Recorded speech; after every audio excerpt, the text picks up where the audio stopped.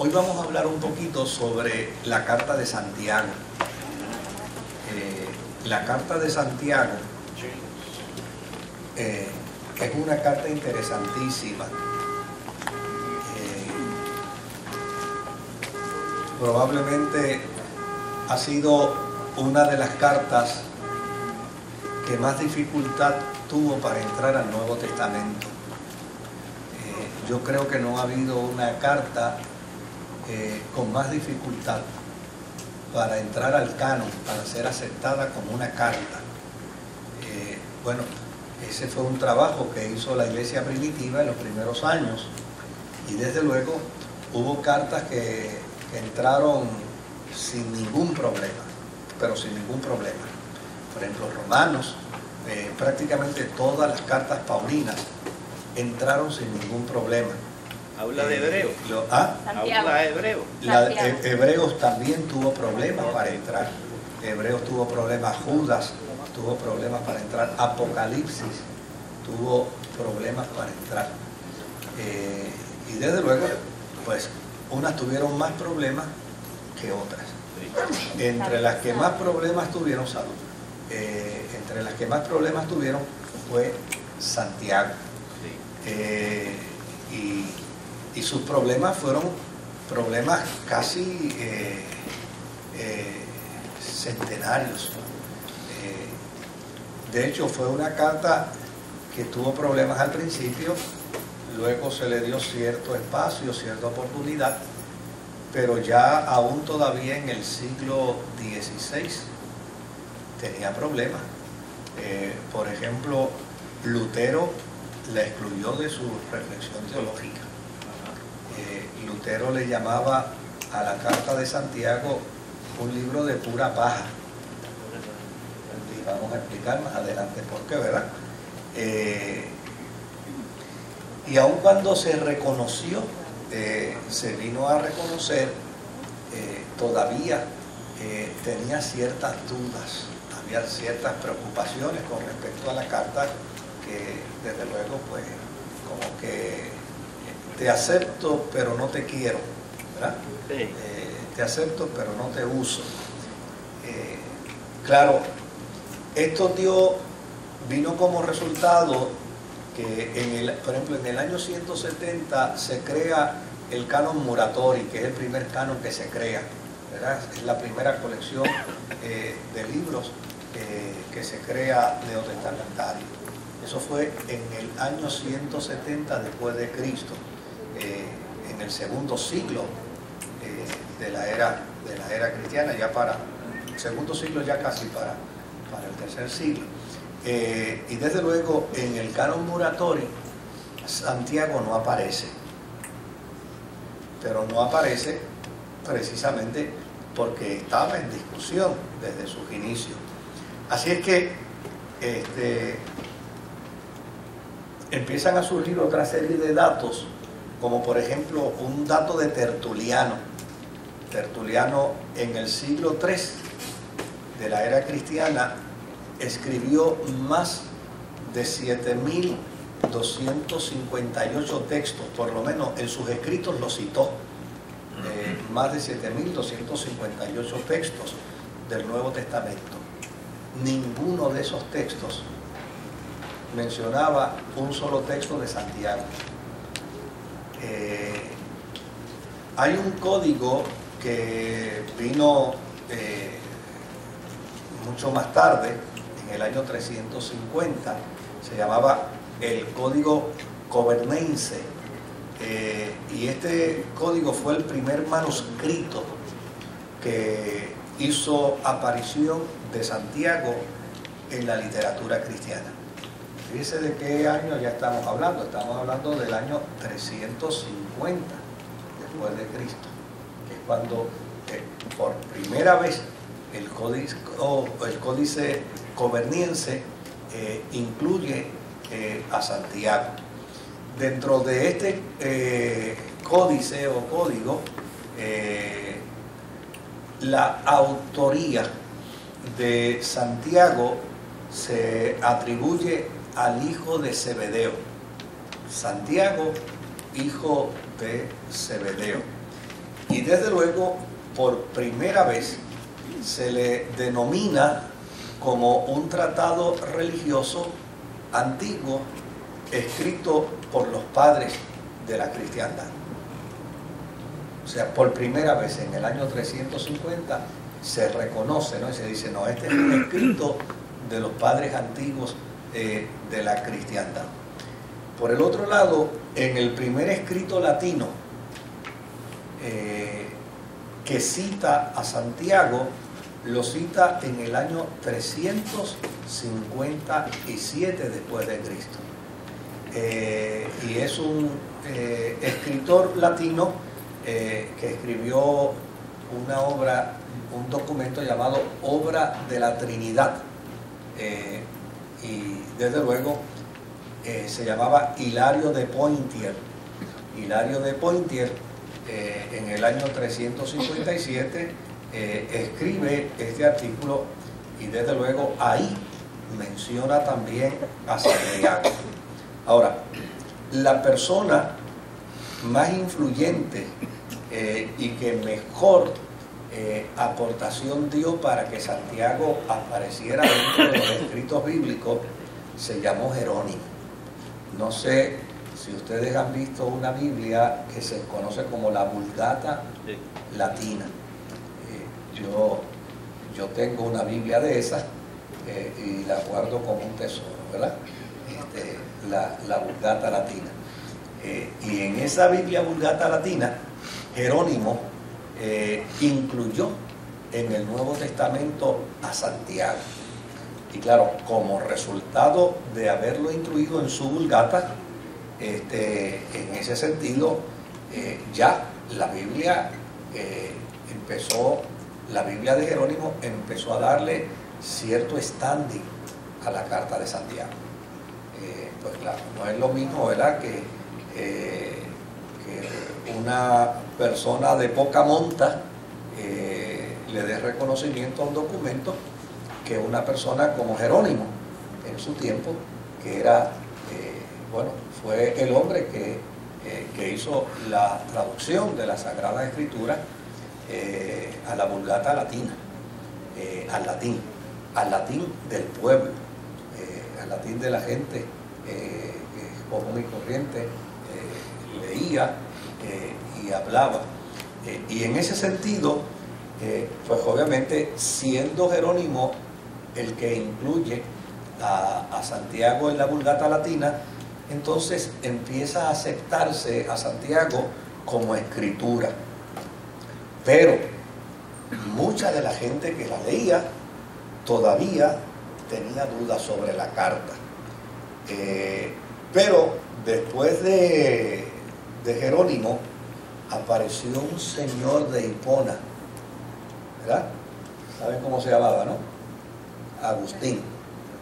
Agustín eh, dio un espaldarazo a la carta de Santiago. Y en aquel momento, Agustín era el non plus ultra de los teólogos. Era la autoridad máxima en el campo teológico, en campo eh, de la teología latina. Y entonces, ante, ante la postura de Agustín de Hipona, y está ya el documento, ¿verdad?, en, la Vulgata Latina, entonces, por fin, la carta de Santiago empieza entonces a hacer desaparecer sus dudas como un documento eh, de poca monta eh, y empieza entonces a reconocerse. Otro dato interesante con Jerónimo y con Agustín de Hipona es que en lugar de adjudicarle la carta a Santiago el hijo de Zebedeo, ellos empiezan a adjudicarle la carta a Santiago el hermano del Señor. O sea, es Agustín de Hipona y obviamente Jerónimo con su vulgata latina, el que empieza a adjudicarle eh, la carta de Santiago a eh, Santiago, el hermano del Señor, no Santiago, el hijo de Zebedeo. Y esto pues empieza a traer un cuadro nuevo que todavía hasta el día de hoy se discute, hasta el día de hoy se comenta y se plantea. El hecho de que si se menciona a Santiago como el hermano del Señor, pues entonces eh, quiere decir que eh, Jesús tuvo más hermanos. Y si Jesús tuvo más hermanos, entonces quiere decir que María tuvo más hijos. ¿verdad? Eso es un argumento eh, que se eh, debate teológicamente entre el protestantismo eh, y el mundo católico. el mundo católico postula y plantea desde Trento, ¿verdad? que desde el Concilio de Trento, que estos que se mencionan en la Escritura como hermanos de Jesús realmente no eran hermanos, eran parientes o primos hermanos, que en aquel tiempo se les denominaba hermanos. Ese es el argumento eh, que ellos utilizan. Yo he tenido oportunidad de conversar con un sinnúmero eh, de religiosos eh, a quienes yo considero mis amigos dentro de la Iglesia Católica y les he planteado que yo creo que el catolicismo hace un mal juicio eh, contra los evangélicos, contra los protestantes, cuando dicen que nosotros no amamos a María eh, eh, o no la distinguimos. Pues yo sí puedo dar fe de que hay algunos evangélicos que no quisieran que la Biblia diga de María lo que dice. Yo puedo dar fe, porque yo he predicado sobre María diciendo lo que la Biblia dice de María. Y hay evangélicos que han querido taparme la boca. Eh, pero si la Biblia lo dice, pues entonces no lo puedo negar.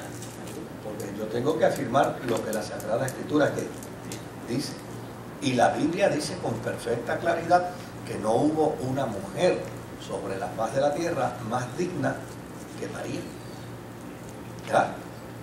Eh, y la Biblia dice que fue denominada como bienaventurada. Y la Biblia dice que el Espíritu Santo posó en ella. Y eso lo dice con perfecta claridad. Y la Biblia dice que cuando el Espíritu Santo posó en ella, aun cuando estaba comprometida, que es el término desposada de José, ¿verdad? Aun cuando estaba comprometida, ella mantenía su virginidad. Y eso la Biblia lo dice con perfecta claridad. Y obviamente María tuvo que haber sido una mujer extraordinaria al punto que la iglesia dice que ella es bendita, bienaventurada entre todas que entre todas las mujeres y el fruto que lleva en su vientre es un fruto bendito. Y hay gente que no le gusta que uno diga eso, pero eso está en la Biblia. Y eso uno no lo puede negar bajo ninguna circunstancia. Ahora, yo he conversado con sacerdotes, con amigos eh, sobre este tema y le he dicho lo siguiente. Eh, yo reconozco la santidad de María tal y como las Sagradas Escrituras lo plantean. Y lo más extraordinario es que lo reconozco aún pudiendo creer que tuvo más hijos. Porque la bienaventuranza de María no se da a base de su virginidad la bienaventuranza de María se da como resultado de su obediencia. ¿Ves? Es su obediencia a Dios lo que la hace bienaventurada. Es su obediencia a Dios lo que la convierte en una mujer de unos quilates extraordinarios. Ahora, yo le pregunto a veces a ellos, le digo, si descubriéramos que en efecto tuvo más hijos, tú la amarías y la querías como la ama ahora declarando la Virgen. Porque yo la amo y la reconozco como la Biblia lo plantea. Se destruye. Aún si tuvo uno o si tuvo diez. No me tiene ninguna preocupación porque a fin de cuentas la santidad de un ser humano no está basada en su virginidad. no es la virginidad, lo que- porque si es la virginidad entonces es por obra. ¿Ves? Es por obra. Para ser salvo lo único que tiene una persona que hacer es guardarse virgen. Y, y- y por obra pues ya eh, pues se salva. Pero la iglesia es que no es por obra para que nadie se gloríe. Ahora, problema no- es que entonces, siguiendo ese Sí. beso, eh, las monjas tienen el criterio de imitar a María a través de, de la obediencia, de- el- la grandeza de, toda su vida. La grandeza de la fe es, es la obediencia. Claro, yo no puedo, ¿verdad? Porque libre y espontáneamente una persona puede decidir, como dijo el apóstol San Pablo. Yo le recomiendo a los hombres que si pueden ni se casen. ¿verdad? Si una persona decide eh, no casarse, un hombre decide mantenerse virgen. Para usar el término, ¿no? Eh, y una mujer decide mantenerse virgen para el Señor, pues para el Señor no decide. Nadie puede venir a cuestionar eh, por qué no rompe con su virginidad, pues es el derecho que tiene de hacerlo para el Señor. Lo que nadie puede tener derecho es pensar que porque es virgen es mejor que el que no lo es. Porque, porque la experiencia de la santificación no es el resultado de la virginidad, es el resultado de la gracia de Dios derramada en nosotros a través de la persona de Jesucristo. Así es que eh, no fueron, no fueron los protestantes los primeros en decir que el autor de Santiago era eh, eh, el hermano del Señor. Fue Agustín de Hipona. Eh, claro, Agustín de Hipona es, un teólogo de la cristiandad. Agustín de Hipona no es propiedad de nadie, es un teólogo de toda, de toda la cristiandad. Eh, y en este caso, eh, también la persona de Jerónimo es un teólogo de la cristiandad, porque en aquel momento en que se escribe la Vulgata Latina no existen protestantes, en aquel momento solamente existen católicos, cristianos católicos. Y en ese sentido, pues, eh, si yo quiero hablar desde el punto de vista, eh, desde el punto de vista generacional universal, pues yo fui católico, apostólico romano hasta el siglo XVI. ¿Ves? Hasta el siglo XVI yo fui católico, apostólico romano. ¿Por qué razón? Porque hasta el siglo XVI había una sola iglesia cristiana, que era, que era la católica apostólica romana. En el siglo XVI, eh, Lutero fue expulsado de la iglesia porque él no renunció a la iglesia. Él fue expulsado de la iglesia. Por lo tanto, yo soy el resultado de alguien que fue expulsado. El mundo protestante es el resultado de una persona que fue expulsada de la iglesia. Eh, y ha sido reconocido inclusive por el Vaticano. En el Vaticano II se planteó el hecho del error de la expulsión precisamente de Lutero. Eh, ahora, como resultado de ello, yo tengo que cargar con las virtudes y los defectos de la iglesia desde el primer siglo hasta el 16. Ahora, después del 16, pues yo cargo con las responsabilidades del protestantismo, con sus virtudes y sus defectos. Ya no cargo con las responsabilidades, pues, porque hubo un cisma y hubo una, una separación. Una separación que no la provocó el protestantismo. Una separación que la provocó el catolicismo del siglo XVI. Por eso cuando, claro, ya hoy en día, gracias a Dios, eso por lo menos en América se ha subsanado muchísimo. Pero antes cuando alguien me decía, usted es de los hermanos separados, yo digo, no, de los separados no, de los que separaron. Son dos cosas distintas. Yo no soy de los separados, yo soy de los que separaron. Y de los que separaron, eh, obviamente, porque la historia plantea que eso fue lo que sucedió. Ahora, el que Agustín de Hipona planteara que Santiago, el hermano del Señor, es el responsable de la carta de Santiago, pues eso abrió un espacio dentro de la iglesia latina, que ahora pues se despejan las dudas, se despejan eh, esas intrigas con respecto a la carta de Santiago. Ahora, ¿qué pasaba en la iglesia siriaca? La iglesia siriaca que es más antigua que la iglesia latina. ¿Qué pasaba en la iglesia siriaca? Pues la iglesia siriaca, hasta el 451 después de Cristo, no había rastro de Santiago tampoco. No, no había rastro de Santiago. Eh, hay una Biblia, que es la Biblia que pertenece a la iglesia siriaca, que es la Biblia Pesita, o Peshita, como usted la quiera llamar. Eh, de hecho, recientemente se hizo una versión eh, más moderna de la Peshita. yo tengo una de esa Biblia. Y así como Vulgata es el lenguaje cotidiano y ordinario del latín, pues obviamente Peshita lo que significa es simple, algo más, más o menos análogo ¿no? a la forma y manera como se describe la Vulgata latina.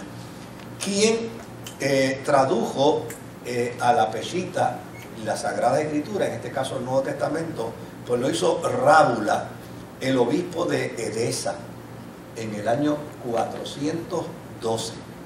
Y desde luego, en el año 412, cuando Rábula, note bien, en el mundo latino lo hizo Jerónimo, con la Vulgata, ¿verdad? En el mundo siriaco lo hizo Rábula con la Peshita. Y en el año 412 aparece por primera vez en la traducción de la Peshita la carta de Santiago. Ahora, en el siglo VIII, Juan Damasceno, así como en el mundo latino, así como en el mundo latino tenía eh, la cristiandad a un Agustín de Hipona, pues en el mundo siriaco la cristiandad tenía a un Juan Damasceno. Y este Juan Damasceno era eh, obviamente el non plus ultra de los teólogos siriacos. Y él fue el que hizo despejar las dudas de Santiago. Y entonces Santiago empezó a ser acepto dentro del canon bíblico. En el marco de la iglesia griega, ¿verdad? Que es entonces cuando usted dice Siria, ¿qué, es?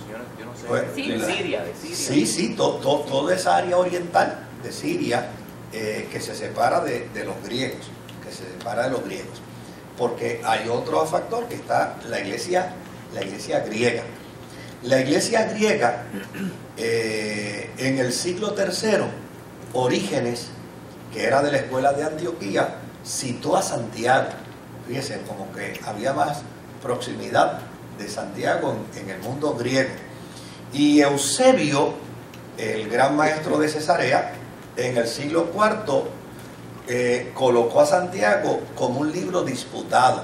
Es decir, Eusebio empezó a nombrar cuáles libros ya habían pasado la prueba, ¿verdad? Y cuáles libros todavía no. Pero mencionó a Santiago como uno de los libros que estaba, que estaba en el proceso para pasar la prueba. Ahora, Atanasio, que se convierte entonces, así como Juan Damasceno, así como Agustín de Hipona en el mundo latino, Atanasio en el mundo griego es el non plus ultra de los teólogos.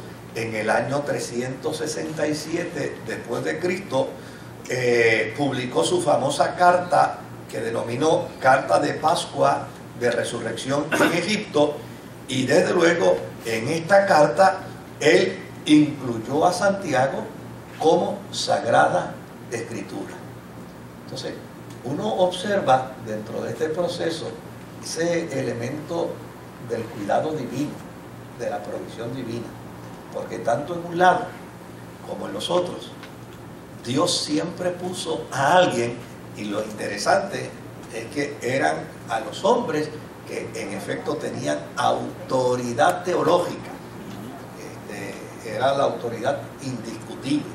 Eh, ¿Quién podía discutir a Agustín? Eh, ¿Quién podía discutirle a Orígenes? ¿Quién podía eh, discutirle a Juan Damasceno? pues eh, esta gente se convirtió entonces en los defensores de la Carta de Santiago. Ahora,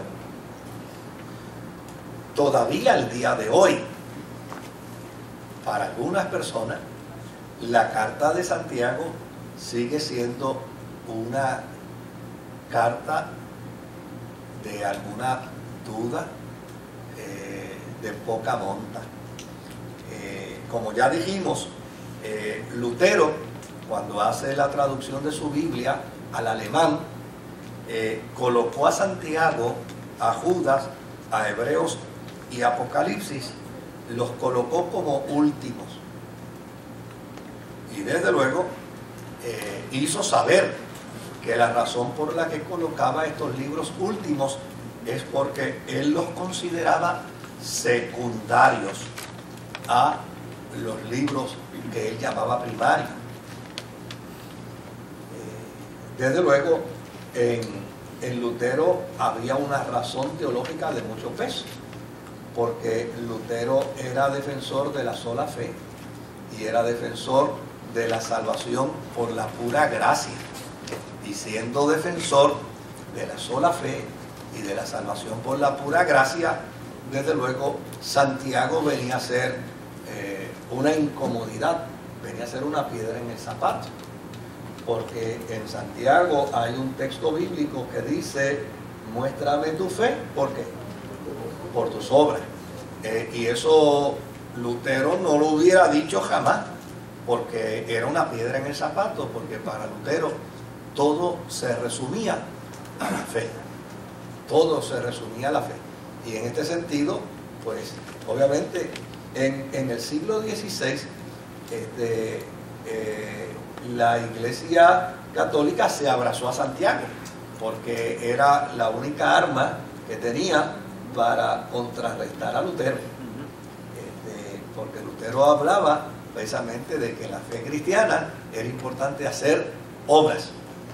Eh, y a mí me parece que está diciendo lo correcto, porque hoy en día, hoy en día ha quedado demostrado que la impresión más contundente que se evidencia en un individuo no es lo que dice, es lo que hace. No es lo que dice, es lo que hace. O sea, lo que causa más impresión a los ojos de los demás sobre un individuo no es lo que dice. Lo que dice es secundario. Lo que hace es lo importante. Eh, uno tiene que entender y tiene que reconocer que en efecto, eh, si yo hablo de un Dios de amor, pero no imito ese amor, vengo a ser como metal que retiñe, ¿verdad? Como símbolo eh, resonante porque a fin de cuentas este, yo tengo que mostrar el amor a través de las obras. Nadie me diga a mí que me ama si no lo demuestra. Este, no hay manera, porque de hecho, este, Juan dice, porque de tal manera amó Dios al mundo que obró, ¿verdad? ¿Y cómo obró? Nos dio hijo unigénito. El mismo Jesús cuando Pedro le dijo a Pedro, tú me amas. Sí. Pues, le dio pastorear. Pues, demuéstralo en acciones. Y en ese sentido, claro, yo no creo que Santiago, y lo vamos a ver más adelante, yo no creo que Santiago está hablando de obras para salvar. Yo creo que Santiago de lo que está hablando es de obras porque somos salvos. Son dos cosas totalmente distintas. O sea, no son obras para que una persona se salve. son, son obras producto de que ya se salvo, ¿no? Es como aquel sticker que había por ahí que decía, si eres cristiano, ¿verdad? que se te note. Eh, eh, de hecho, una de las cosas más dolorosas que puede existir en la experiencia de la fe cristiana es precisamente que, que lo que digamos no lo vivamos. y en ese sentido, pues hay un, hay un desafío bien grande. Ahora, eh, Lutero miraba la carta de, no olvidemos que eh, Lutero era un intelectual. Lutero tenía un doctorado en música, un doctorado en teología, un doctorado en filosofía y un doctorado en leyes.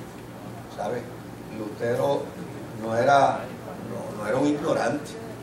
Lutero era una persona extremadamente intelectual. Eh, y desde luego, cuando él ve el documento de Santiago, dice, espérate, este hombre aquí está atribuyendo la justificación a las obras. Eh, no habla de la pasión, no habla de la resurrección de Jesucristo, no habla del Espíritu de Cristo. O sea, su carta no es una carta evangélica, no es una carta evangélica, no habla de salvación, desde luego, no habla de salvación porque Santiago no está escribiendo a inconversos, él está escribiendo a quienes, a cristianos, a personas ya convertidas, ya salvadas. Este, no es un documento apostólico porque eh, para, para Lutero, obviamente, el que históricamente Santiago haya aparecido tan posterior a la era apostólica, pues dice, no, esto no es un documento apostólico. Por el otro lado, eh, las referencias de la ley que hace Santiago y las referencias de las obras que hace Santiago ponían entonces a, Lutero eh, a la defensiva con respecto, eh, con respecto a la carta. Y en ese sentido, pues no, no aceptaba la carta. Pero yo creo que tenemos en la carta de Santiago un gran documento. Creo que tenemos en la carta de Santiago este, un documento con una pertinencia para este siglo. Este, y un documento que me parece que es digno de leer, digno de reflexionar y es digno de imitar. Eh, vamos a tomarnos un par de martes, ¿verdad? Pues para, para mirar un poco a Santiago, para ojearlo, este, contemplarlo y, de alguna manera poder, eh, poder ver en él esas cosas interesantísimas. Ahora, si miramos a Santiago capítulo 1 y versículo 1, ah, me dices que no desde allá, no hay, está bien, hay problemas. Este, ¿Volvió de nuevo el mismo problema? Está, ¿Llamaron a Nicola a ver? Ah, bueno, vamos a ver si no a Héctor, a ver qué pasa con esa cosa buena. Ok, pues entonces, eh, ya que no podemos trabajarlo de esa forma, y para yo ser humilde, no buscar la Biblia aquí, pues déjame agarrar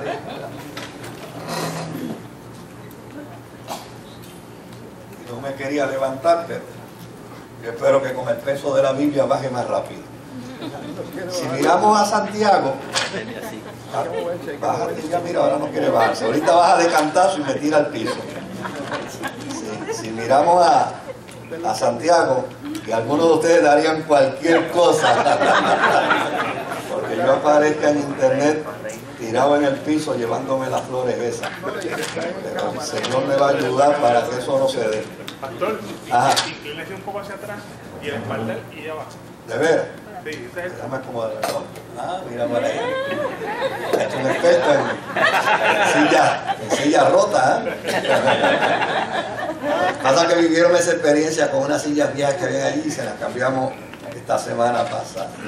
Bueno, pero si miramos a Santiago en el, en el capítulo 1, ¿verdad? Fíjese lo que dice el capítulo 1 y en el versículo 1. Santiago, siervo de Dios y del Señor Jesucristo, a las doce tribus que se hallan dispersas por el mundo. Saludos. Dice Santiago, pero tenemos un problema. ¿Cuál de los Santiago? Porque en el Nuevo Testamento hay cinco chavos. ¿Eh? ¿Y cuál de los cinco Santiago es este que dice Santiago, siervo de Dios, y del Señor Jesucristo. Ahora, vamos a buscar el primer Santiago. El primer Santiago, si miramos a Mateo, capítulo, capítulo 10, vamos a encontrar a uno que se llamaba Santiago, que se conoce como Santiago, el hijo de Alfeo. ¿Verdad? Dice aquí, Felipe, Mateo 10, versículo 3. Felipe y Bartolomé, Tomás y Mateo, el recaudador de impuestos. Jacobo, que es Santiago.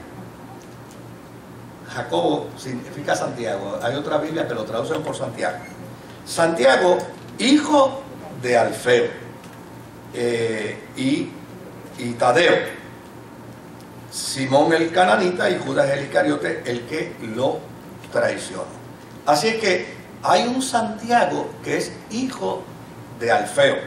Interesantemente, es uno de los discípulos del Señor Jesús. Es uno de los discípulos. En Marcos, por lo menos para dar, dar aunque sea dos citas, eh, o leerlas, les puedo dar las otras, ¿no? Para los que están anotando. Pero en Marcos, en el capítulo 3 y en el versículo 18, dice también, eh, Jacobo y Juan, hijos de Zebedeo, a quienes llamó Boanerges, que significa hijo del trueno. Así que, si usted observa bien, aquí hay, aquí hay un Santiago, hijo de Alfeo, y hay un Jacobo y Juan su hermano, que son eh, hijos de Zebedeo. Por lo tanto, ya estamos viendo a dos tipos de Santiago, ¿verdad? Por el otro lado, si miramos Lucas capítulo 6, hay varios versículos, ¿verdad? Pero no, no los vamos a ver todos. Pero si vemos a Lucas en el capítulo 6 y en el verso 16, dice aquí, Judas, hijo de Jacobo, y Judas Iscariote, que llegó a ser el traidor. Es decir, dentro de los discípulos de Jesús habían dos Judas. Uno era hijo de Santiago. Por lo tanto, ya se han mencionado aquí a tres Santiago, ¿verdad? Por el otro lado, eh, está también eh, Santiago el Menor, que aparece en Marcos 15, 40. Si buscamos Marcos 15, 40, Marcos 15, 40, dice, algunas mujeres miraban desde lejos. Entre ellas estaban María Magdalena y María, la madre de Jacobo el menor. Fíjense que están mencionando a otro Santiago, que se denomina aquí como el menor. Y ya hemos mencionado a cuatro Santiagos que ninguno tiene que ver uno con el otro. Son totalmente distintos. Ahora, si vamos, si vamos a las Sagradas Escrituras y vemos a Marcos capítulo 6 y versículo 3. Marcos 6 y versículo 3. Encontramos entonces, ¿no es acaso el carpintero el hijo de María y el hermano de quién? Hermano de Jacobo, el hermano de Santiago. Por lo tanto, Marcos testifica que hubo un momento dado en que la gente decía que Jesús era el hijo de María y que era hermano de Jacobo, de José, de Judas y de Simón. Y decía, ¿y no están también aquí sus hermanas con nosotros? En el verso 4. Pero nota aquí que está mencionando a un quinto Santiago. Este Santiago no tiene que ver nada con el menor, ni tiene que ver nada con el hijo de Alfeo, ni con el hijo de Zebedeo. Este Santiago es el hermano del Señor. Ahora, si miramos en Mateo capítulo 13, Mateo capítulo 13, este, le voy a dar algunos versículos más, ¿verdad? Para que lo puedan luego, luego mirar. Este, Mateo capítulo 13 y verso, y verso 55. Mire cómo dice la escritura.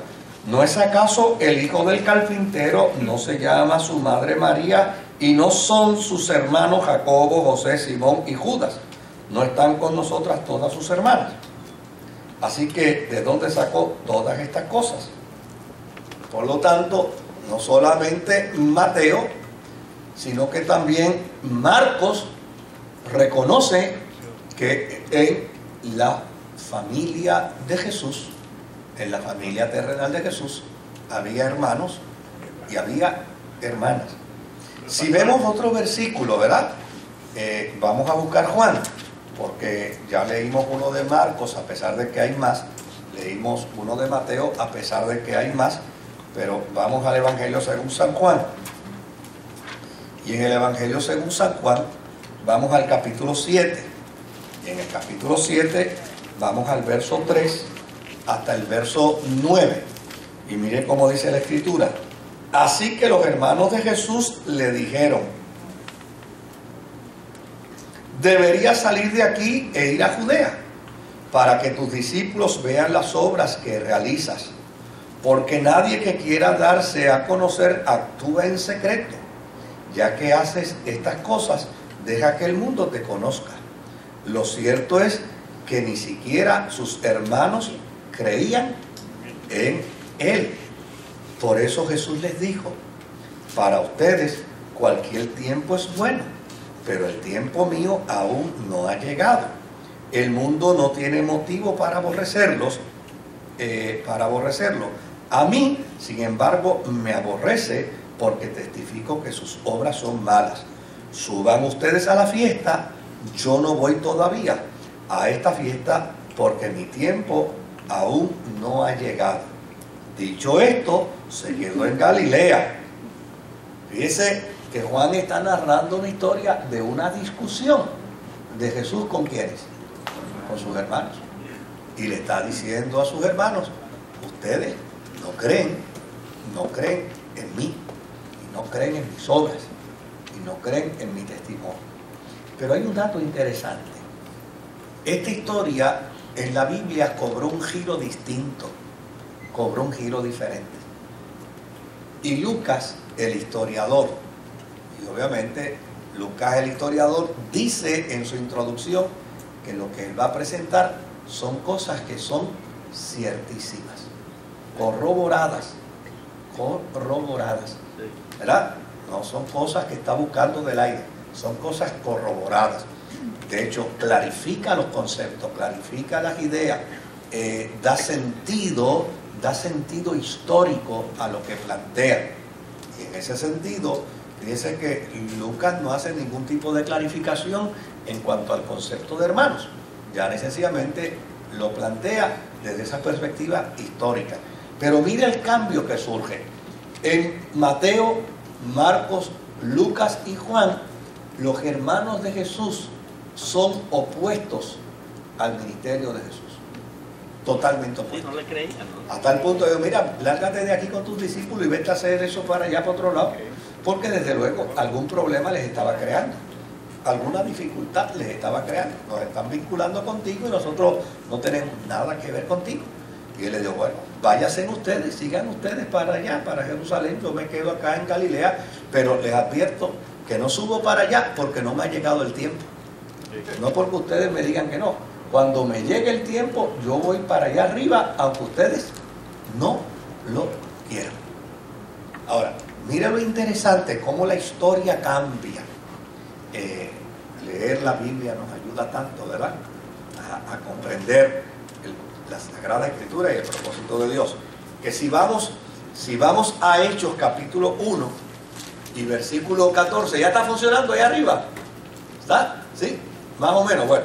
Hechos 1 y versículo 14, eh, mire cómo dice, todos en un mismo espíritu se dedicaban a la oración junto con las mujeres y con los hermanos de Jesús y su madre María. ¿Qué está diciendo aquí? ¿Qué está diciendo? ¿Ah? Al final los hermanos Al final, al final los hermanos de Jesús le creyeron. ¿Cuándo fue que le creyeron? ¿Cuándo fue que le creyeron?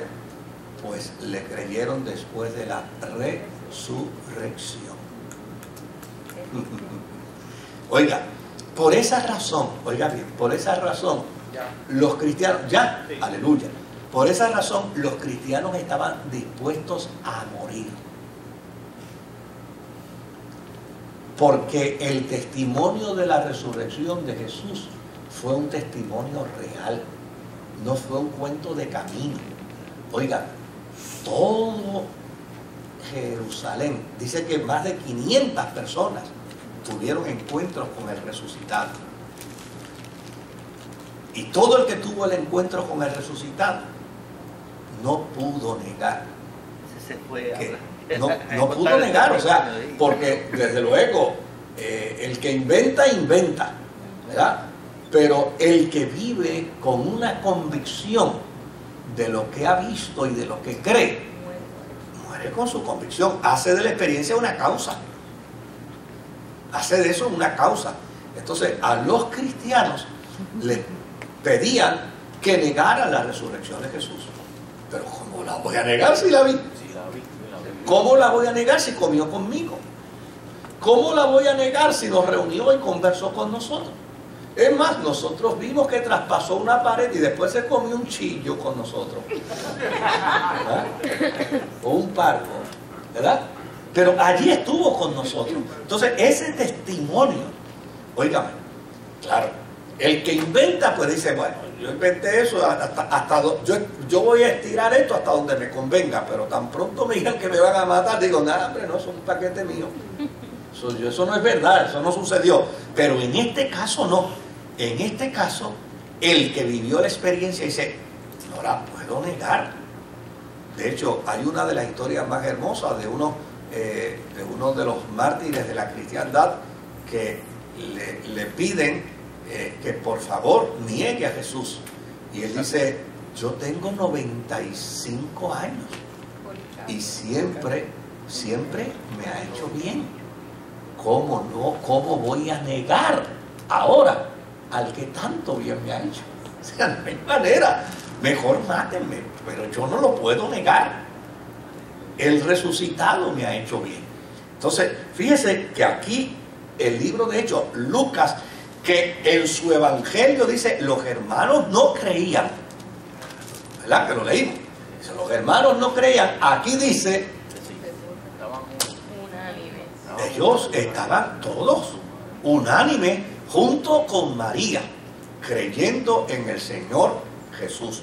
Ahora, si vamos a Hechos capítulo eh, no, al verso 14, ¿verdad? No, leímos el 14. Vamos ahora a Hechos 12, 17. Hechos 12, 17. En la pantalla, pastor. Ah, ahí está acá. Ah, bueno, ya gracias, Señor. Hechos 12, 17. Ahora sí me paro. Puede ser que esté destinado a una caída. Hechos 12, 17 dice, con la mano de Pedro le hizo señas de que se callaran y les contó cómo el Señor lo había sacado de la cárcel. Y mire lo que dice, cuéntele esto a Jacobo y a los hermanos le dijo. Luego salió y se fue a otro lugar. Fíjese que Lucas empieza a vincular a los hermanos de Jesús dentro del testimonio de la iglesia primitiva, después de la resurrección. Si miramos a Hechos 15, el capítulo 15 del libro de Hechos, que desde el versículo 1, Hechos, Hechos 15, póngamelo allá, ajá, ok. Dice, algunos que habían llegado de Judea a Antioquía se pusieron a enseñar a los hermanos. A menos que ustedes se circunciden conforme a la tradición de Moisés, no pueden ser salvos. Y vamos a seguir por ahí un poquito. Esto provocó un altercado y un serio debate de Pablo y Bernabé con ellos. Entonces se decidió que Pablo y Bernabé y algunos otros creyentes subieran a Jerusalén para tratar este asunto con los apóstoles y los ancianos. Verso 3. Enviados por la iglesia al pasar por Fenicia y Samaria, contaron cómo se habían convertido los gentiles. Estas noticias llenaron de alegría a todos los creyentes. Verso 5. Miren cómo sigue diciendo. Se trancó allá. Ah, ok. Entonces intervinieron algunos creyentes que pertenecían a la secta de los fariseos y afirmaron, es necesario circuncidar a los gentiles y exigirles que obedezcan la ley de Moisés. Verso 6. Los apóstoles y los ancianos se reunieron para examinar este asunto. Después de una larga discusión, Pedro tomó la palabra, hermanos, Ustedes saben que desde un principio Dios me escogió de entre ustedes para que por mi boca los gentiles oyeran el Evangelio, oyeran el mensaje del Evangelio y creyeran. Dios que conoce el corazón humano mostró que los aceptaba dándoles el Espíritu Santo lo mismo que a nosotros sin hacer distinción alguna entre nosotros y ellos, purificó sus corazones por la fe. Entonces, ¿por qué tratan ahora de provocar a Dios poniendo sobre el cuello de esos discípulos un yugo que ni nosotros ni nuestros antepasados hemos podido soportar? No puede ser más bien como ellos creemos que somos salvos por la gracia de nuestro ese a mí me encanta ese ese capítulo por la gracia de nuestro Señor Jesús. Seguimos leyendo. Toda la asamblea guardó silencio para escuchar a Bernabé y a Pablo que les contaron las señales y prodigios que Dios había hecho por medio de ellos entre los gentiles. Cuando terminaron Jacobo tomó la palabra y dijo, hermanos, escúchenme. Simón, que es Pedro, ha expuesto cómo Dios desde el principio tuvo a bien escoger de entre los gentiles un pueblo para honra de su nombre. Con esto concuerdan las palabras de los profetas, tal como está escrito. Después de esto volveré y reedificaré la casa derrumbada de David, sus ruinas reedificaré y la restauraré para que busque al Señor el resto de la humanidad, todas las naciones que llevan mi nombre. Así dice el Señor, que hace estas cosas conocidas desde tiempos antiguos. Por lo tanto, yo considero que debemos dejar de ponerle traba a los gentiles que se convierten a Dios. Más bien debemos escribirle que se abstengan de lo contaminado por los ídolos, de la inmoralidad sexual, de la carne de animales estrangulados y de sangre. En efecto, desde tiempos antiguos, Moisés siempre ha tenido en cada ciudad quien lo predique y lo lea en las sinagogas todos los sábados entonces los apóstoles y los ancianos, de común acuerdo con toda la iglesia, decidieron escoger algunos de ellos y enviarlos a Antioquía con Pablo y Bernabé. Escogieron a Judas, llamado Barsabás, y a Silas, que tenía buena reputación entre los hermanos. Con ellos mandaron la siguiente carta a Cilicia no hemos, nos hemos enterado de que algunos de, nuestros, de los nuestros, sin nuestra autorización, los han inquietado ustedes, alarmándoles con lo que les han dicho. Así que de común acuerdo hemos decidido escoger algunos hombres y enviarlos a ustedes con nuestros queridos hermanos Pablo y Bernabé, quienes han arriesgado su vida por el nombre de nuestro Señor Jesucristo. Por tanto, les enviamos a Judas y a Silas para que les confirmen personalmente lo que les escribimos. Nos pareció bien al Espíritu Santo y a nosotros no imponerle a ustedes ninguna carga, aparte de los siguientes requisitos. Abstenerse de los sacrificados a los ídolos de sangre, de carne, de animales estrangulados y de la inmoralidad sexual. Bien harán ustedes si evitan estas cosas. Una vez despedidos ellos, bajaron a Antioquía, donde se reunieron, donde reunieron a la congregación y entregaron la carta. Los creyentes la leyeron y se alegraron por su mensaje alentador. Judas y Silas, que también eran profetas, hablaron extensamente para animarlos y fortalecerlos. Después de pasar algún tiempo allí, los hermanos los despidieron en paz para que regresaran a quienes los habían enviado. Pablo y Bernabé permanecieron en Antioquía enseñando y anunciando la palabra del Señor en compañía de muchos otros Algún tiempo después Pablo le dijo a Bernabé, volvamos a visitar a los creyentes en todas las ciudades donde hemos anunciado la palabra del Señor y veamos cómo están. Resulta que Bernabé quería llevar con ellos a Juan Marco y ese es otro chisme. Hasta ahí llega. Ahora, mire qué dato interesante. ¿Quién fue el que propuso la alternativa para resolver el problema de los cristianos judíos y de los cristianos gentiles? Jacob, Santiago. Por lo tanto, este hermano de Jesús empezó a distinguirse. Claro, alguien dirá, oye, pero ahí no dice por ningún lugar que era, el hermano de Jesús dice que era Jacob, nada más. Vamos a Gálatas, capítulo 1 y versículo 19. Por eso leí la historia completa. Dice, no vi este es Pablo hablando. No vi a ningún otro de los apóstoles, solo vi a Jacobo, ¿quién? El hermano del Señor. Y si vemos el verso 18, pásate al 18, por favor, pásate al 18. Después de tres años subí a Jerusalén para visitar a Pedro y me, me quedé con él 15 días. Y no vi a ninguno de los otros apóstoles. Al único que vi fue a qué? A Jacobo, el hermano del Señor.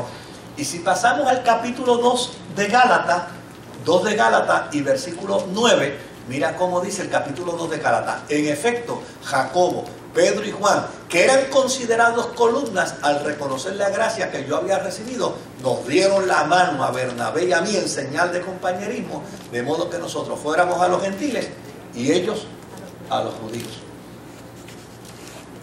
Termino Termino con Hechos capítulo 21, verso 18. Hechos 21, verso 18 al 25. Dice, al, al siguiente día, Pablo fue con nosotros a ver a Jacobo y todos los ancianos estaban presentes. Después de saludarlos, Pablo les relató detalladamente lo que Dios había hecho entre los gentiles por medio de su ministerio al oírlo, alabaron a Dios. Luego le dijeron a Pablo, ya ves, hermano, cuántos miles de judíos han creído y todos ellos siguen aferrados a la ley. Ahora bien, han oído decir que tú enseñas que se aparten de Moisés todos los judíos que viven entre los gentiles. Les recomiendas que no circunciden a sus hijos ni vivan según nuestras costumbres. ¿Qué vamos a hacer? Sin duda se van a enterar de que has llegado. Por eso será mejor que sigas nuestro consejo. Hay aquí entre nosotros cuatro hombres que tienen que cumplir un voto. Llévatelos, toma parte en sus ritos de purificación, paga los gastos que, que corresponden al voto de rasurarse la cabeza, así todos sabrán que no son ciertos esos informes acerca de ti, sino que tú obedeces, que tú también vives en obediencia a la ley. En cuanto a los creyentes gentiles, ya le hemos comunicado por escrito nuestra decisión de que se abstengan de los sacrificados a los ídolos de sangre, de carne de animales, estrangulados y de inmoralidad sexual. Fíjense qué interesante. Jacobo está ahí metido. Y le están haciendo una recomendación a Pablo. Le están diciendo, mira Pablo, ya nosotros decidimos con respecto a los gentiles y le pedimos cinco cosas nada más. Ahora, tú eres judío y por ahí se anda diciendo de que tú le estás diciendo a los judíos que abandonen la ley. Porque los cristianos judíos, los cristianos judíos siguieron siendo cristianos, pero también seguían siendo qué? Judíos. Seguían practicando la ley. Entonces, los cristianos de Jerusalén dicen, mira, pero ahora andan diciendo por ahí que tú estás provocando que los cristianos judíos abandonen la ley. Pero qué bueno que tú andas con cuatro hermanos que son judíos. Y desde luego, como hay la fiesta de la purificación, pues vamos a hacer algo. Vamos allá. Vamos a la- al proceso de la fiesta de la purificación y paga tú la purificación de ellos. Para que de esta manera todos te vean que tú estás pagándole a ellos el rito. Y de esa manera nadie te juzgue como un mal judío. Interesante. Porque lo que resalta dentro de esto es que Jacobo, el hermano de Jesús, empezó a desarrollar un liderazgo extraordinario dentro de la iglesia de Jerusalén. Tan es así que cuando se iban a dilucidar asuntos importantísimos, medulares de la iglesia, él estaba presente.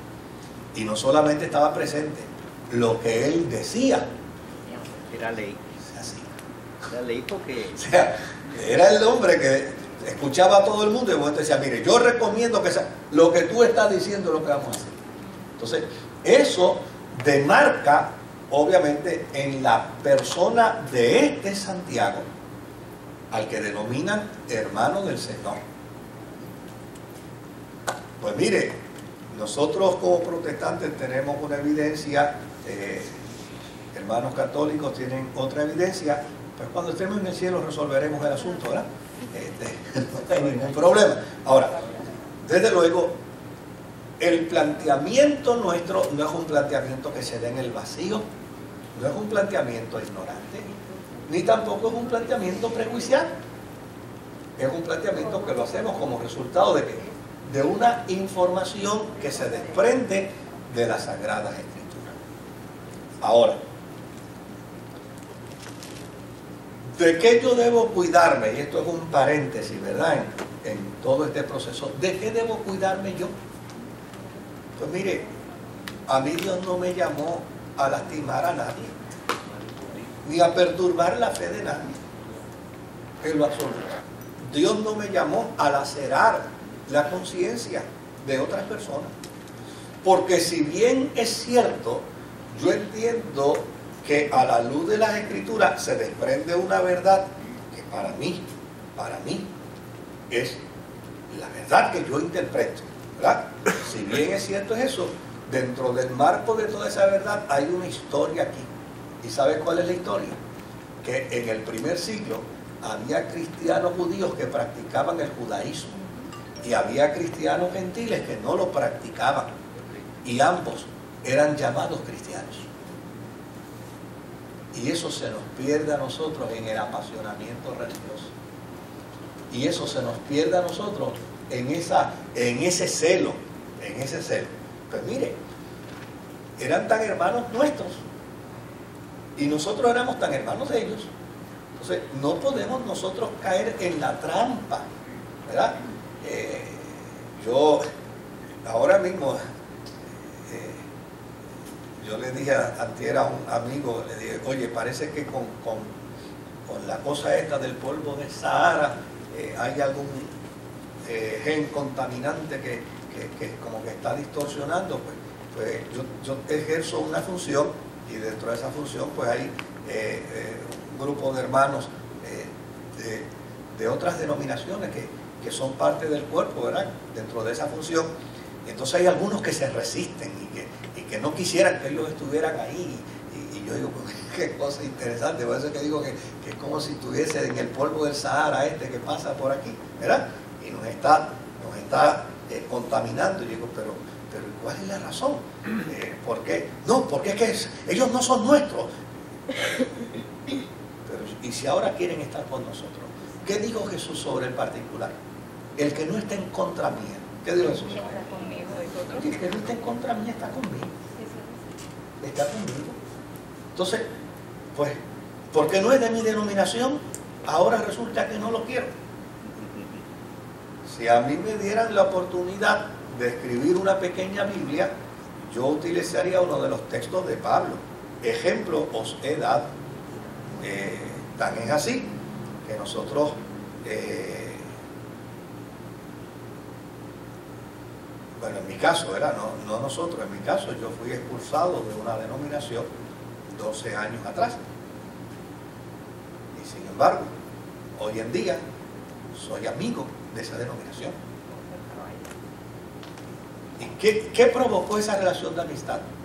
Que yo decidí, yo decidí jamás hablar mal de ellos. Jamás. Donde quiera me paraba los defendía. Y de hecho, cada vez que me hacían preguntas en el programa de televisión, capciosas, malintencionadas contra ellos, ¿qué usted cree de esos concilios que, que le prohíben a la mujer recortarse? Bueno, si ellos lo prohíben, ya necesariamente los que sean parte de ahí tienen que obedecerlo. Porque si son parte de ellos, pues, usted no puede estar en un sitio para desobedecer las reglas del sitio. ¿Se lo quiere cortar? O sea, nunca, nunca vine a plantear que eso es una ignorancia, ¿no? Yo, ¿Por qué? Oiga, si lo creen para el Señor, para el Señor lo creen. Para el Señor lo creen. Y esa postura, esa postura fue poco a poco, como una gota. Porque obviamente esa postura no era humana, esa postura fue el resultado de unas instrucciones que el Señor me dio en el camino. Nunca hables mal de ellos, bendícelos. Nunca, nunca te interpongas contra ellos.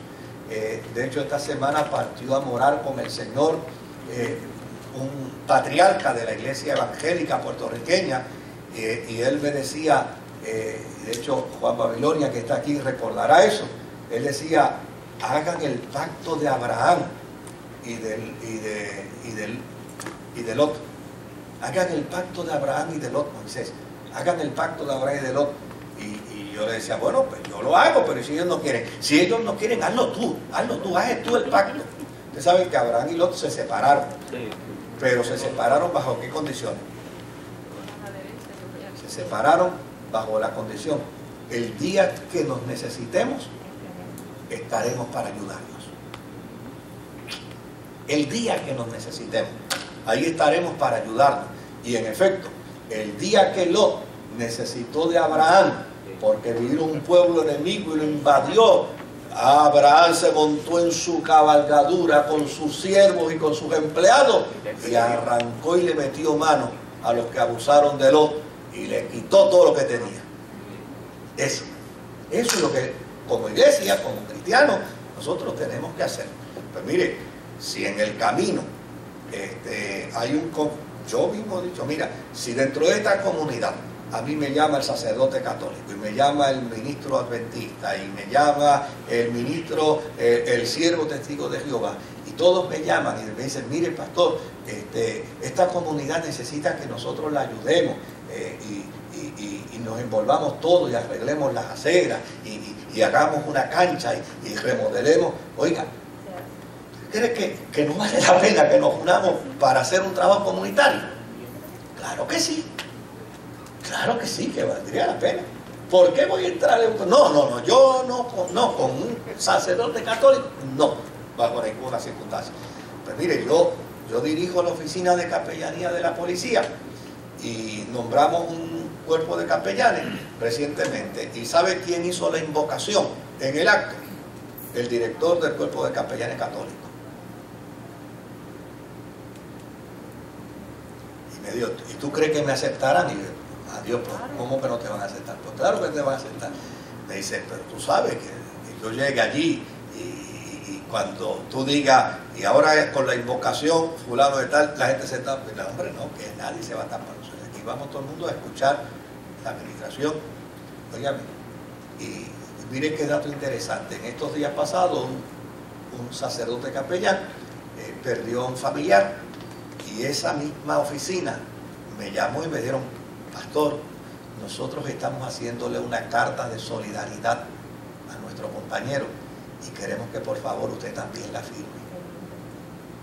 Pues claro que sí, con mucho gusto. Qué, qué privilegio, qué bendición poder ser solidario con el dolor de, de ese sacerdote.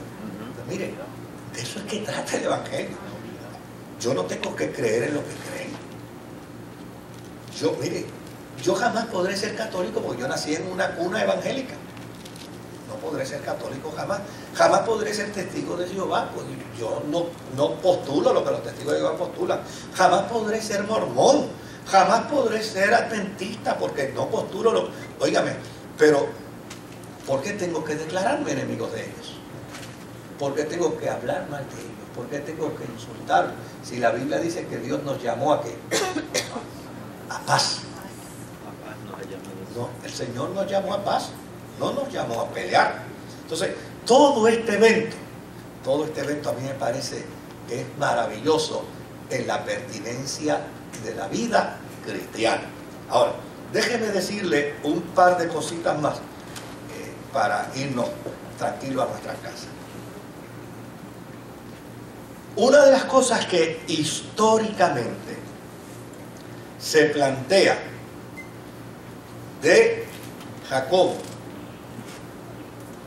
es que su conversión fue resultado de un encuentro con el resucitado. Si vamos a Primera de Corintios, capítulo 15 y versículo 7, Primera de Corintios 15, 7.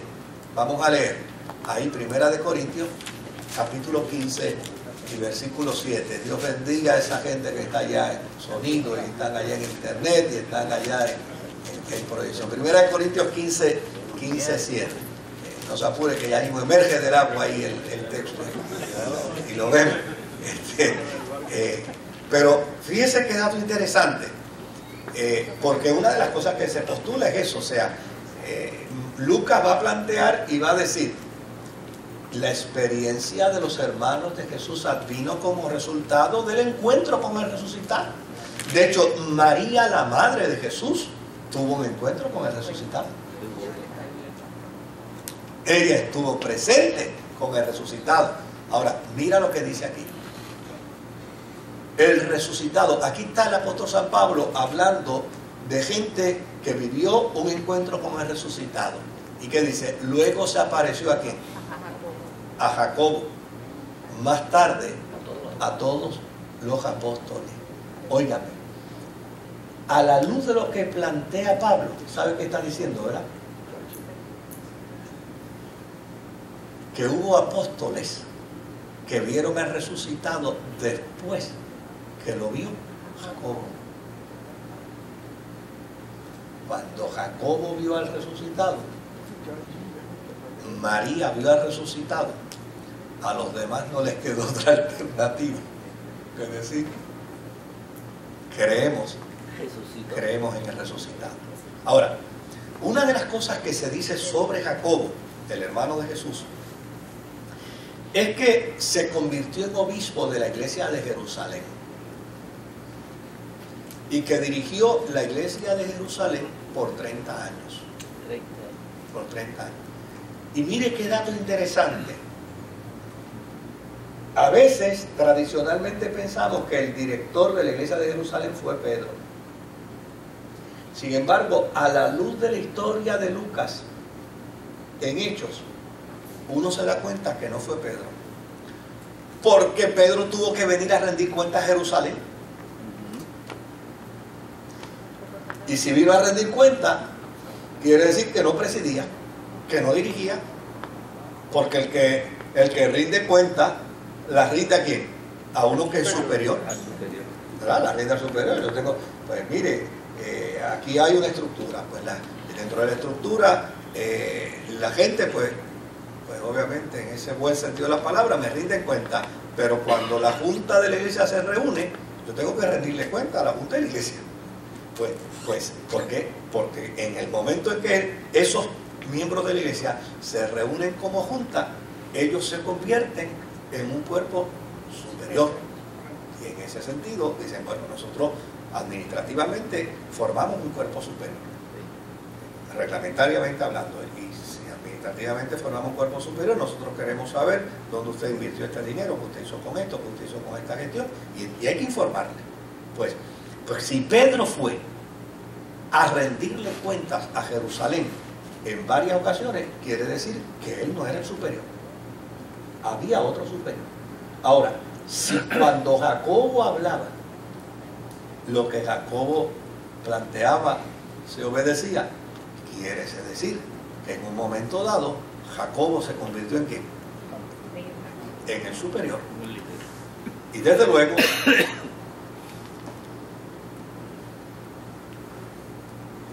algunos de los historiadores de la cristiandad, como Eusebio, plantean y postulan que Jacobo, el hermano del Señor, fue obispo de la iglesia de Jerusalén por 30 años, que murió como mártir en el año 62. Murió bajo un acto oportunista del sumo sacerdote llamado Anano, que lo pudieron haber cambiado la A por E.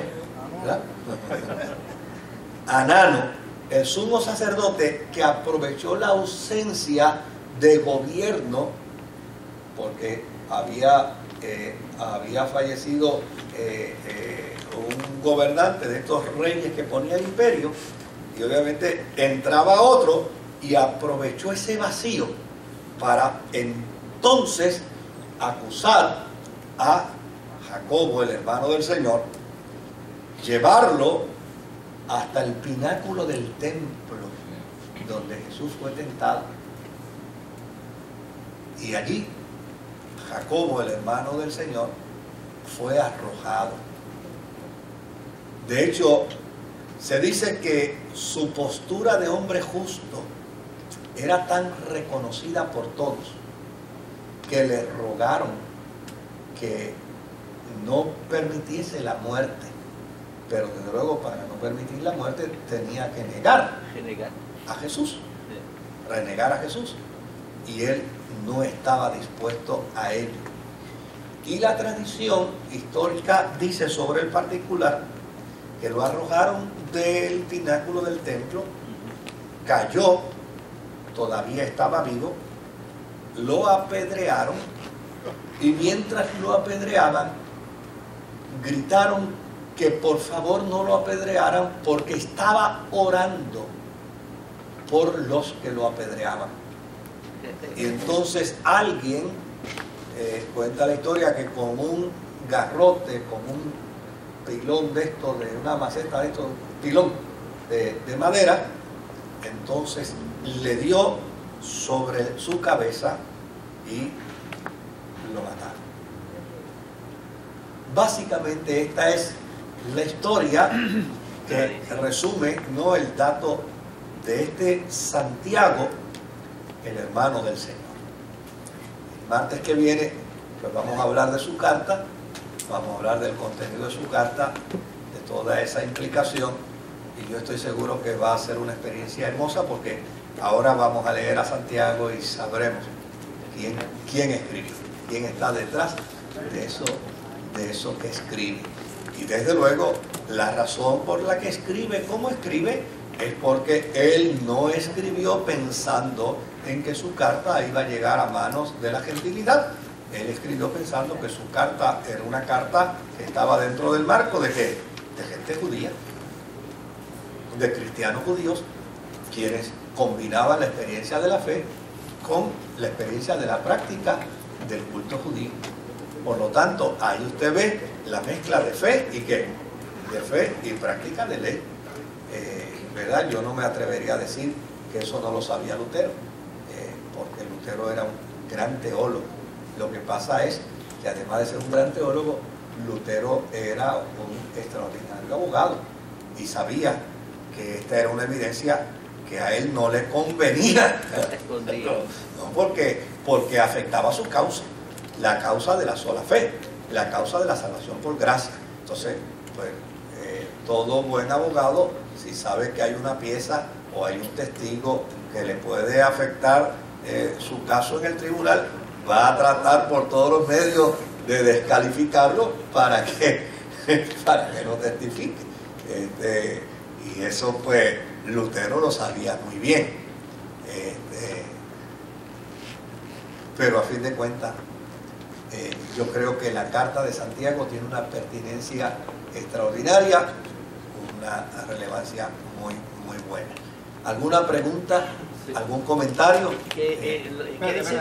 Si, están viendo ahí para los hermanos de...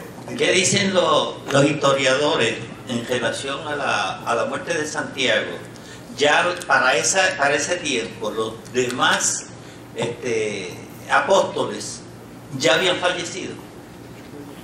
Bueno, básicamente esto, es, esto está dentro del contexto, esto está dentro del contexto de, eh, de un elemento tradicional, ¿no? Que se conjuga con, con unos datos históricos, eh, pero no, no, no, no habían fallecido los demás. No, no habían fallecido los demás. Eh, fíjese que eh, inclusive hay algunos que postulan que él es el primer apóstol que muere. Porque, porque Esteban no era apóstol, No, Esteban no. Esteban era diácono, Sí, era un diácono de la iglesia.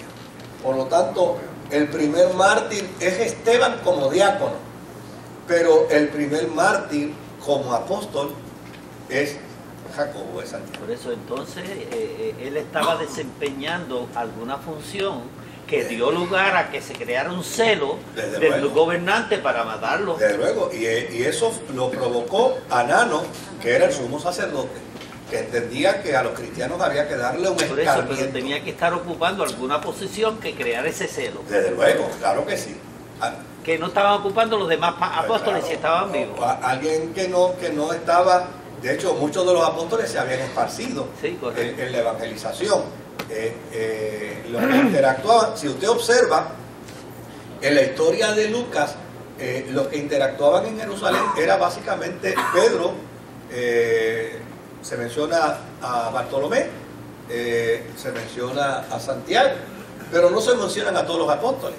Es una minoría lo que, lo Lucas menciona. Eh, ¿Por qué menciona esa minoría? Porque los otros ya no estaban en Jerusalén. ya se con la muerte de Esteban, ya algunos habían puesto pie en polvorosa porque entendían que si se quedaban todos allí, los, los liquidaban y se acababa el Evangelio. Por lo tanto, ellos decidieron esparcirse e irse. Además de que el mismo Santiago plantea y dice que esto era parte de un cumplimiento profético. En toda nación había judíos. Y en toda nación donde había judíos era necesario que se proclamara el Cristo. Por lo tanto, la estampida de Jerusalén hacia el mundo gentil donde había judíos estaba profetizada. Santiago lo dijo en su planteamiento y en su, y en su argumento para despedir a Pablo y a Pedro como apóstoles de gentilidad. Digo, no, ustedes vayan a ser a los gentiles porque nuestros hermanos judíos, donde quiera estén, nosotros los vamos a qué? Los vamos a pastorear. Ir por el mundo y predicar el Sí. evangelio, pues ya el Señor Sí. se lo había dicho. Por eso, nosotros vamos a pastorear a nuestros hermanos judíos, los que estén donde estén. Nosotros los vamos a alcanzar. Ustedes, váyanse a los gentiles. Correcto. A Pablo. ¿Alguna otra pregunta, algún comentario? ¿Cuántos apóstoles, cuántos apóstoles Santiago habían entonces? Ah. Había- ¿Cuántos apóstoles Jacobos había? Porque usted mencionó cinco. Y uno, uno, sabemos que era el hermano de. de Bueno, porque decía, apóstoles. por lo menos de esos, de esos había tres. Ahora, el otro elemento que no podemos olvidar es el siguiente. No lo pueden, no lo pueden olvidar. Fíjate que la iglesia de Jerusalén necesitaba un cuerpo apostolar. Un cuerpo apostolar. Ese cuerpo apostolar exigía que el que iba a ser apóstol tenía que haber sido testigo de qué? De, la resurrección de Jesús. Ahora, si con la muerte de Esteban algunos apóstoles salieron de Jerusalén, había que nombrar dos. Porque cuando Judas redujo el número de los doce, lo sustituyeron por quién? Por Matías. Por lo tanto, es muy probable que ya, que ya para mediado o ya, sí, para mediados del primer siglo, El 50. los apóstoles que estaban en Jerusalén No eran los no eran necesariamente los primeros apóstoles que acompañaron a Jesús. ¿Se dan cuenta? Y eso, eso debe, debemos tenerlo bien, bien presente. No eran, no eran los mismos.